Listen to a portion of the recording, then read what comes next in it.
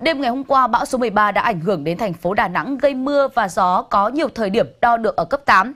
Tuy nhiên do chỉ ảnh hưởng nên cơn bão này đã không gây thiệt hại đáng kể nào cho thành phố này. Đêm qua, mưa lớn kèm theo gió to đã xuất hiện ở Đà Nẵng. Có nhiều thời điểm sóng biển cao đã khiến nước sông Hàn tràn qua đường. Một số khu vực trũng thấp. Tuy nhiên, không có bất kỳ thiệt hại nào đáng kể xảy ra. Cho đến sáng nay, Đà Nẵng chỉ còn mưa nhỏ, gió cũng đã không còn xuất hiện. Mực nước trên sông Hàn cũng đã trở lại bình thường như thời điểm trước khi bão vào. Sáng nay, Đà Nẵng cũng điều hai xe bọc thép đi kiểm tra tình hình thiệt hại. Tuy nhiên, thống kê sơ bộ, bão số 13 không gây thiệt hại đáng kể nào cho Đà Nẵng. Chỉ có một vài những sự cố cúp điện nhỏ lẻ, ngã đổ tường rào cục bộ. Một vài khu vực ven sông Hàn, sung yếu ven biển bị sóng đánh khiến đất đá tràn lên đường. Sáng nay, Đà Nẵng cũng trở lại cuộc sống bình thường, người dân ra đường trở lại và các cây cầu cũng đã dỡ lệnh phong tỏa.